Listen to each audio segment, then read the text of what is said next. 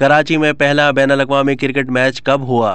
1926 में कराची में पहली गैर मुल्की क्रिकेट टीम दौरे पर आई। ये किसी भी बैन अवी टीम की तरफ़ से कराची का पहला दौरा और बैन अवी क्रिकेट मैच था। बल्दिया कराची ने इस इवेंट को यादगार बनाने के लिए दोनों टीमों के एजाज में शहरी इस्तबालिया का अहतमाम किया। जमशेद नसर वांजी ने इस मौके पर ऐलान किया कि कराची में बैन अवी मैचों की मेज़बानी की जाएगी और इस मकसद के तहत बल्दिया कराची शहर में बैन अवी मैार के क्रिकेट ग्राउंड तामीर करेगी। बल्दिया के सरबरा के ऐलान के मुताबिक उस वक्त मास्टर प्लान में बड़े बड़े कतात अराजी को खेल के मैदानों के लिए मुख्त किया गया, जो आज भी पुराने शहर और उन्नीस से पहले आबाद होने वाली रिहायशी स्कीमों में मौजूद हैं।